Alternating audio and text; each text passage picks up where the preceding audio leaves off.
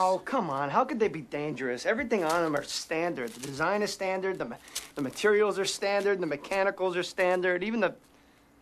Oh, What's O? what? No, what's O? You just said O. No, I, I said oh. Oh, like that's interesting, or oh, like we're screwed? No, look, I mean, you know, hey, whoa, oh. All right, look, forget the O, all right? I'm gonna run down to legal and get the ball rolling on the countersuit. The chips.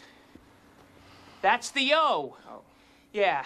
These microprocessing chips. What do they do, and where'd you get them from? They, you know, they microprocess and they come from the land of I saved your job. Come on.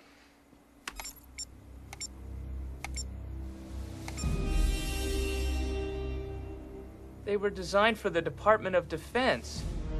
You put munitions chips in toys?